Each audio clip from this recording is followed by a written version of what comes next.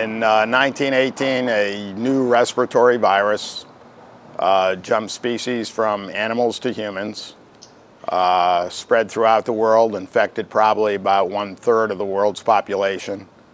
It killed between 50 and 100 million people, which if you adjust for population, that would be equivalent to 225 million to 450 million people today.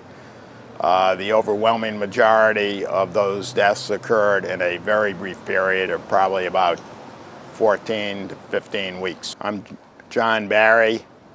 I'm a writer. Uh, wrote a book, among others, uh, called The Great Influenza, the story of the deadliest pandemic in history. I'm also uh, on the faculty at the uh, Tulane University School of Public Health and Tropical Medicine.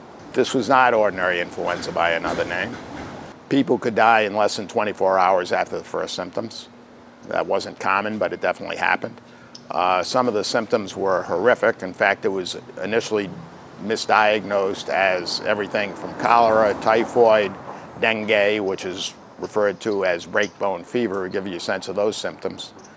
People could bleed not only from their nose and mouth, but from their eyes and ears, which is pretty horrific and terrifying.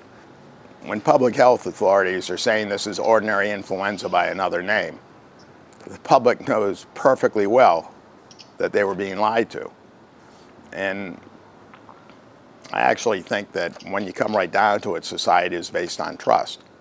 And without trust, society is going to begin to break down. And that's actually what happened. I mean, the lies were so extreme in Philadelphia at a time when the city was digging mass graves.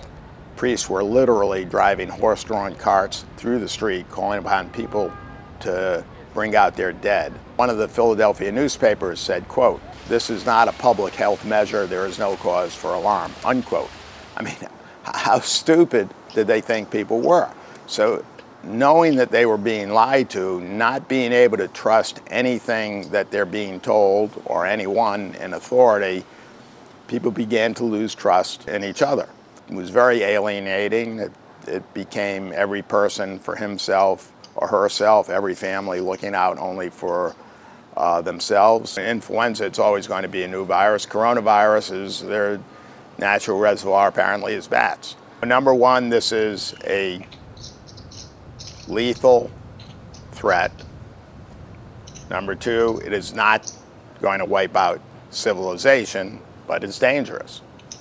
Number three, we do have the opportunity to exercise some control over what happens both to us individually and to the society and the economy. The social distancing, as the Chinese have, uh, have uh, demonstrated, you know, works uh, and can have a significant impact on the outcome of the, in the course of the disease. If there is widespread compliance, then I think we can you know, significantly affect the course of the disease.